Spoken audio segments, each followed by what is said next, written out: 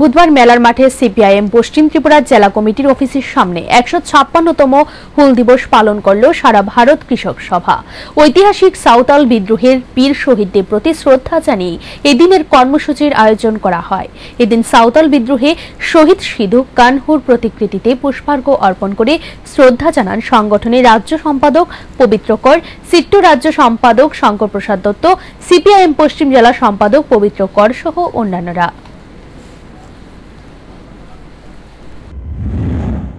এই সাঁওতাল বিদ্রোহের যারা বিদ্রোহী, সংগ্রামী বন্ধুগণ, তাদেরই আমরা শ্রদ্ধা জানাব না।